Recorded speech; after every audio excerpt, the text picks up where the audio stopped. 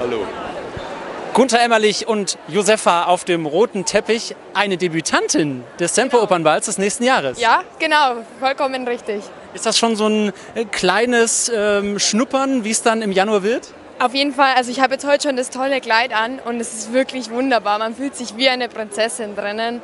Und ja, also ich freue mich auf alle Fälle auf den Ball. Ich glaube, das wird ganz toll dieses Jahr.